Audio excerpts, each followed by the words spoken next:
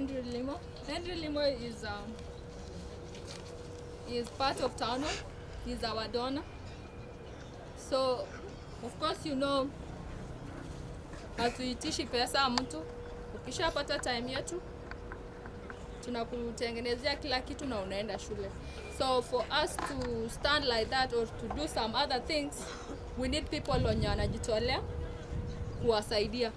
And uh, Henry Limo is one of them who has been assisting us with some expenses. And is here today to witness what he has been, okay, he, he has been supporting us and he has never, nini, come here to, to witness who ana support throughout our hawajui. So today we are privileged to have him and um, let's hear what he has for us. Thank you. All right, I only got three things. You know, all of you are athletes. So the most important thing, I know like you guys have talent. There's no short of any talent here. So you got passion. And then the questionable part is dedication. How much dedication do you have for your craft? So if you have talent, you have passion, but you don't have dedication. So that means you cannot train as hard as you should train. So without that hard work and training, talent and passion is nothing. So you need all three. So you guys have come out here today. We thank you so much for showing up for Tano time trials. I know we get to do them all the time, but at least for those who didn't succeed to qualify, there is the next time. And this is an open don't discriminate and say you are from where, you're from this place, you're from that place. It's open. If you got your talent, you are dedicated, you are putting in the work, it will show on the time results.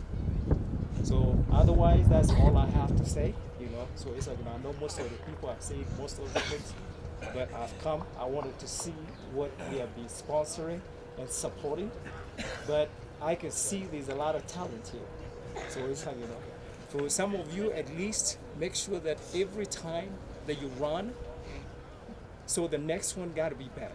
So what can I do to better what I have now? So it's like, you know, does it mean that I have to work on my workouts? I don't know, run longer times, maybe do your fast pacing a lot better. But, but so long as you have those three things, talent, passion, dedication, I don't think, you know, the sky is the limit. It's all about you. What can you do? You know? So that's all I got for you guys today. So I want to thank the coach, the coaches, the assistant coaches. We appreciate you organizing this time trial.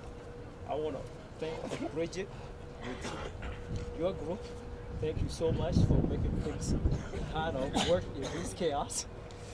We want to thank the county officials that are here. We thank you so much. We hope that the next time you at least bring more people to watch and see these young talent coming up.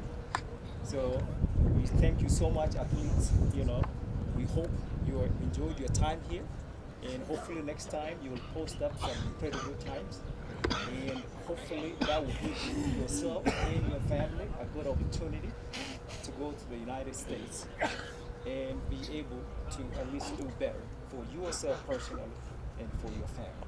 So I wish you all the best. You know, for those who didn't qualify, you know, it's not the end of the road. So it's like, so keep up the good work. So thank you very much, everybody. Appreciate it.